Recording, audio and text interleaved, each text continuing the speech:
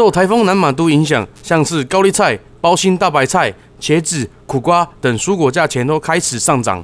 主要原因是南横交通中断，让当地菜农无法把菜运输出来，而导致菜价平均上涨约百分之三十。我们这次平均的菜菜价在公休前跟今天比平时涨了三十八，呃，三十八线，对对，三十八线。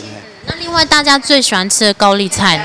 我们最常吃的高丽菜，呃，它的涨幅涨了四十八线，最主要的原因就是在这个力道的交通方面，就是可就是没有下来，所以这样，所以这个价格就像就是比较少，所以价所以价格上扬了，嗯，四十八线左右。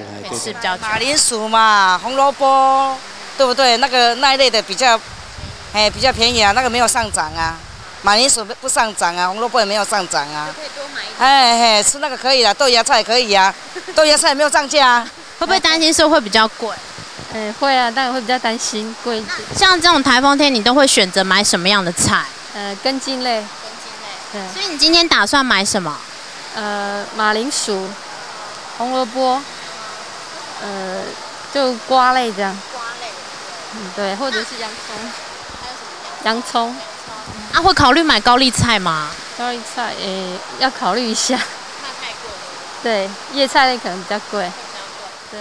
好，是的，现在呢，记者在这个是果菜市场。其实很多人都很担心哦，台风天来的时候，到底要买哪些菜呢？而且现在高丽菜是非常非常的贵。但是呢，在这里可以教大家一些小配包，就是呢，你可以买这些根茎类回去，回家烹调呢，保证不伤你的荷包，又可以让你的肚子可以吃得饱饱。据侯科长表示，这波菜价上浮情形可能会维持一个月，想要省点荷包的朋友们，可要聪明慎选了。动态新闻郑慧茹、杨国柱台东采访报道。